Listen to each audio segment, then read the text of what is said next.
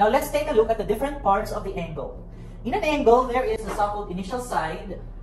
This is where the angle starts.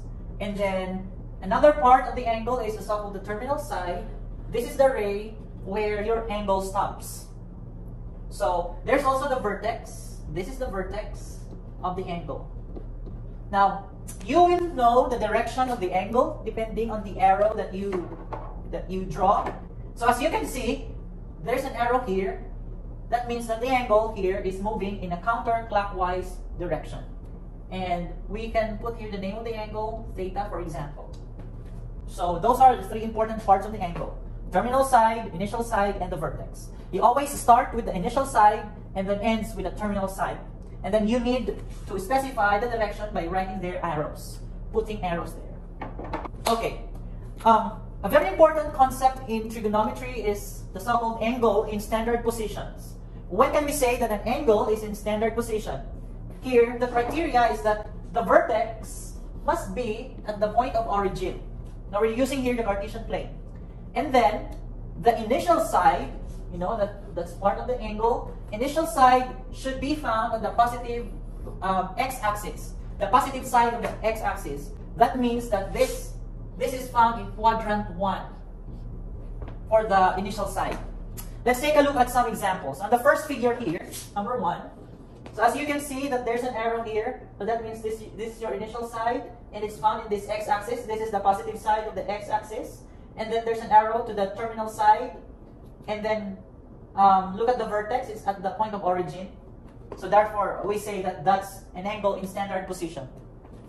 In the second figure here, number 2, so you can see we have here the vertex at the point of origin and the initial side is found in this x-axis, positive side. This, this, this is the positive side of the x-axis, this is the negative side. Remember that the criteria for it to be in standard position is that it must be in the positive x-axis only. So as you can see, in this angle, it meets the criteria, therefore the second, second angle is drawn in standard position. In this uh, third example here, as you can see, the problem here is the vertex. The vertex is in, in the x-axis, it's not in the point of origin. So the third example is not in standard position because of the vertex. Although the initial side is in the x-axis, but the vertex is problematic. While in this uh, fourth example, as you can see, the vertex is on the origin, that's fine. But the initial side here is not found in the positive side of the x-axis. This part here is the positive side, so therefore, number 4 is also not in standard position. And this angle goes this to this direction. Again, you will know that the initial side based on the arrows that you put. So the side where the angle starts is the initial side, and then the side where the angle stops is the terminal side. So here, this blue line here is the term uh, is the initial side. So again, take note that an angle in standard position must have the vertex at the point of origin and the initial side, meaning it should start at the positive side of the x-axis. This part here of the x-axis. Now there are two directions that an angle can have. We have an angle can go in a clockwise rotation or it can go in a counterclockwise rotation. Uh, let's start with a counterclockwise rotation. So, um, by the way, we are always going to use here the idea of angles in standard position. So our angles will always have the vertex at the point of origin, and it always starts at this part here. The angle will always start here. Now, if the angle, the terminal side does not move, it's equivalent to 0 degrees. Now, um, you know that a full circle, one full rotation is 360 degrees. Okay? And a half rotation, so from here up to this point here, that's 180 degrees. Now, if you consider the top, the top part, um, half of 180, it will be up to this point here, which is 90 degrees. Half, uh, between 0 and 90, half of it is 45 degrees. Between 90 and 180, it gives you 135 degrees. Okay? And then a 3 fourths of a rotation, a 3 fourths of a full rotation will give you a 270 degrees. So it would be up to here. 3 fourths of a rotation. From here up to here. Alright. Now, it's very important that you have to draw the arrows to determine in uh, the direction of the angle. If an angle is rotating at a counterclockwise direction, that means that the angle is positive. angle is positive. Again, if an angle is positive, it should rotate in a, clock, in a counterclockwise direction. While if an angle is negative, it should be in a clockwise rotation. Negative. Okay? Clockwise meaning uh, follow the direction of the clock. So for example, we draw an angle in standard position, but this time in a clockwise direction. So our zero will start from here, zero degrees. And from the positive side of the x-axis up to here, half of it will be negative 180 degrees. We're using now negative angles. Um, from here up to this point, uh, half of 180 it will be a, a negative 90 degrees. And then a full rotation, a full rotation will give you 300, negative 360 degrees. As you can see, if an angle is 0 degrees, meaning the terminal side is not moving, it stops here, 0 degrees. Of course, there's no negative 0, so we just have the 0 degrees. And if an angle is 360 degrees, so it's one full circle, if you notice that the terminal side will also stop here, that's 360 degrees, negative 360 degrees. So, meaning um, there are angles that have the same terminal side. Just like this, 0 degrees terminates here, negative 360 degrees also terminates at this side. So the only thing here is that if an angle is negative, you have to rotate that angle in a, in a clockwise direction, while if an angle is positive, you have to rotate in a counterclockwise direction. Now let's look at examples of how to draw an angles in standard position. Also considering if it is in a counterclockwise or clockwise direction. Starting with four, uh, positive 45 degrees. Since this angle is positive, so we will rotate in a counterclockwise direction counterclockwise direction. So first, we draw the Cartesian plane.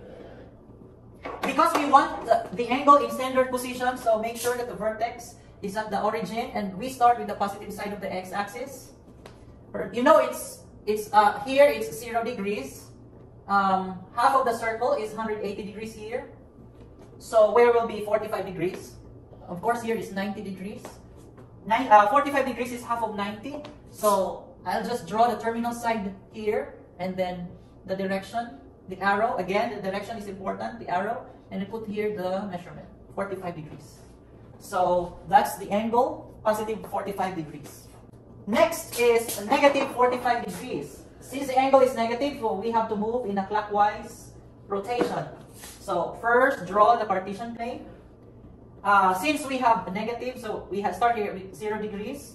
And then in a clockwise direction, negative 90 degrees, negative 180 degrees, and this is negative 270 degrees. Of course, uh, 45 is between 0 and 90, so my angle have a vertex at the point of origin, and it will start here because it's in a standard position, and it will terminate somewhere here, between 0 and 9, negative 90. So you have to draw the arrow. Make sure that you have the arrow there to tell, uh, uh, so that uh, you'll know that it's in a clockwise direction and the angle, negative 45 degrees. So that's it. The two angles here are given in degrees, okay? We still have another example, 100 degrees and negative 200 degrees. So draw the Cartesian plane. Uh, you know that this is 0 degrees. Since it's positive, we are in a clockwise, counterclockwise direction, 180 degrees, 270 degrees. So 100 degrees, um, up to here it's 90. So we just need 10 degrees. So maybe approximately uh, just 10 degrees. So from, from the point of origin to the positive side of the x-axis up to this point here with the arrow telling me that it's in a uh, counterclockwise direction, 100 degrees. Um, next is negative 200 degrees. So again, draw the Cartesian plane negative, so we start here with 0 degrees, negative 90 degrees, negative 180 degrees, and negative 270 degrees. Because it's a negative 200, I have here negative 180, so I just need uh, 20 degrees more. So uh, somewhere here. Again, the vertex is at the point of origin, positive side of the x-axis, and from here it will rotate up to this point. So this is negative 200 degrees up to here. What about if the angle is given in radians, like pi over 4, negative 7 pi over 6. How do you draw these angles? Still the same process. Um, just take note that Cartesian plane, okay, uh, here's is 0 degrees, which is equivalent to 0 radians. I'm going to write the green in radians. Um, here is 90 degrees, which is the same as pi over 2. And then here will be 180 degrees. 180 degrees, but that's equivalent to pi, just the pi. Here is um, 270 degrees, which is equivalent to, to 3 pi over 2. And then the 360 degrees is equivalent to uh, 2 pi. Okay, now the idea here uh, is that we start with the denominator. We get the denominator. So the denominator is 4. And then consider the whole circle. I mean, consider the, the half circle. So this, this point here, top. You just divide it by into 4 equal parts as well as the bottom part. So if I'm going to divide the, the half circle into 4, so I'll have this. 1, 2, 3, 4. And then divide also the bottom part into 4. So I have 1, 2, 3, 4. So you start with the denominator. Use it as a, uh, use it as the number of way, the number of times that you will divide the the half circle, the top, the, uh, the upper half circle, and then the lower semicircle.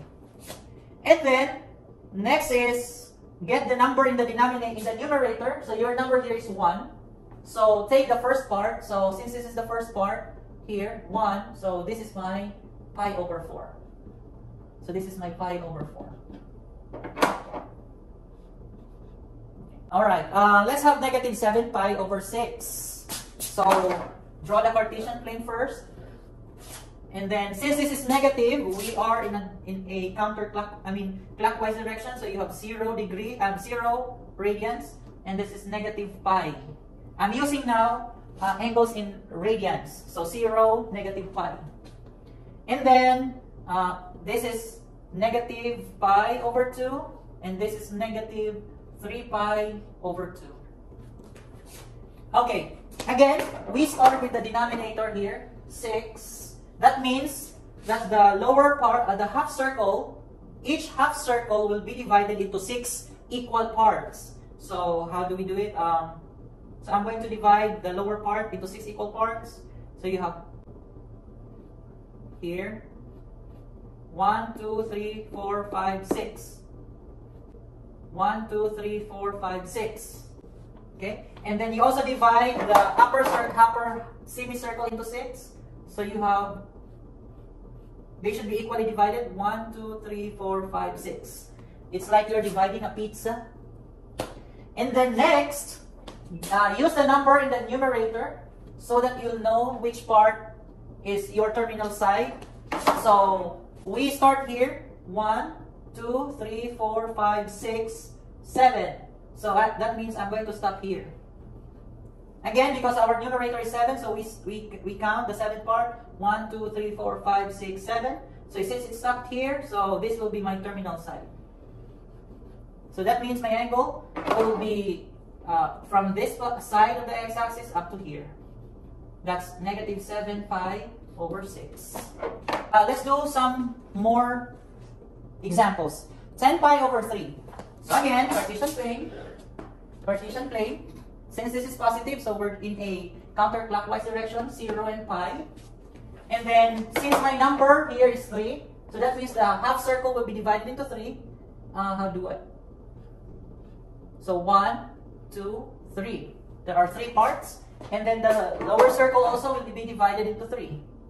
So this is one, two, three. And then, next is the numerator, which is 10.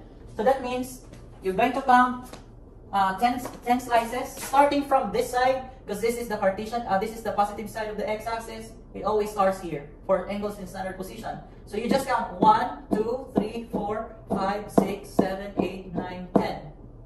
So you had how many full circle plus, again, 1, 2, 3, 4, 5, 6. That's a full circle. 7, 8, 9, 10. So after one full rotation, and then you stop here. So that means your arrow should be start starting from here, one full rotation, and then extend up to here. So you have one full rotation and then extend up to here. Because the numerator is 10. So that's your 10 pi over 3. Next is negative 9 pi over 2. Negative 9 pi over 2, so that means I am going to divide the, the uh, half of the circle into 2. So that means uh, this is 0, since that's negative, so negative pi. So this is uh, half of the circle, so this is my division, so 1, 2. And then the top part will be 1, 2 also. And then, because the number there is 9, so we're going to take we're going to count nine uh, parts, starting from here. So one, two, three, four. That's one rotation.